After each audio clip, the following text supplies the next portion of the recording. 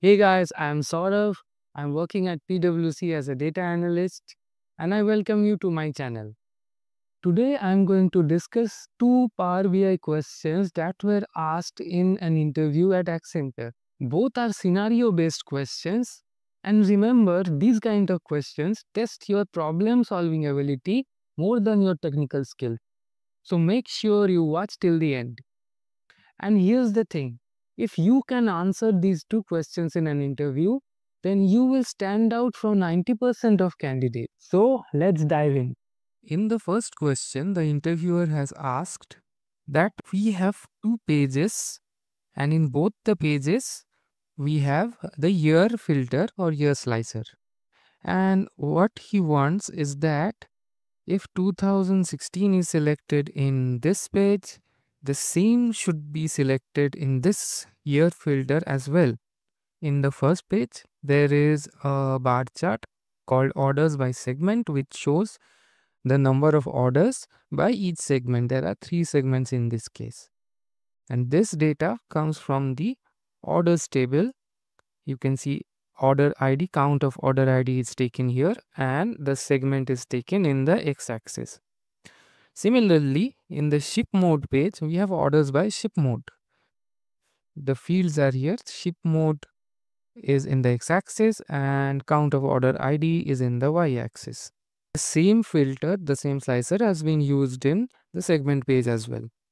So now if we select 2014, 15, 16, 17, you can see this slicer is working on this bar chart. Now 2017 is selected in this page. If we go to ship mode, it's 2016 is selected in this page. And if we change this, it, this does not affect this slicer. So to implement the logic which the interviewer has asked, we need to select one slicer, go to the view option and you will find the option sync slicers. After you click on sync slicer, you can see there are the page names that appear here. So now this slicer is selected. We can select the ship mode page and segment page. What this will do is sync both the slicers in both the pages. So now 2017 is selected here. If we move to the ship mode page, you see the same thing is selected over here. If we select 2015, this will get changed. We select 2014, this will again get changed. So I hope you understood how we implemented this logic. The functionality which you need to remember is sync slicers. It is very useful and not only two pages but it can be used in multiple pages and sync slicers can be used in more than two pages, how many ever pages you want. This is really helpful when you have a large dashboard with multiple pages, 10, 15 pages over there, and you have a similar slicer which you need to filter upon all the pages. Now let's move on to the next question. In question 2, the interviewer is asking us to create a report which will show the top 3 products by sales for each region. For this, we have to take a table first. So we can create a table from here. And in the table, what we want is our product name. And we will take sum of sales. Yep.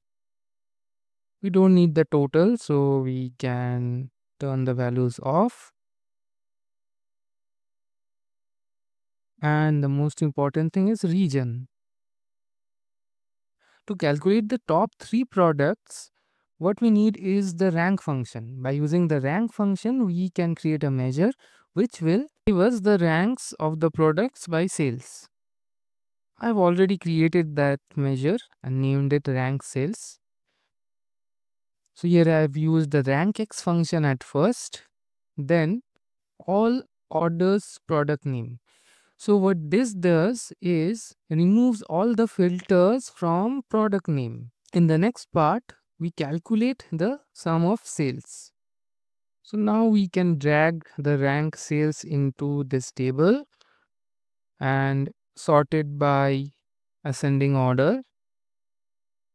Can see these ranks 1, 2, 3, 4. But we only need the top 3 ranks.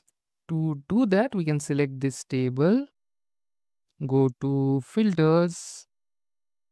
In the filters for rank sales, we can do is less than 4. Apply it. So we will have only the top 3 results, top 3 ranks. Still, it's a little confusing. So I'm going to add a slicer over here. And in the slicer, I will select the region.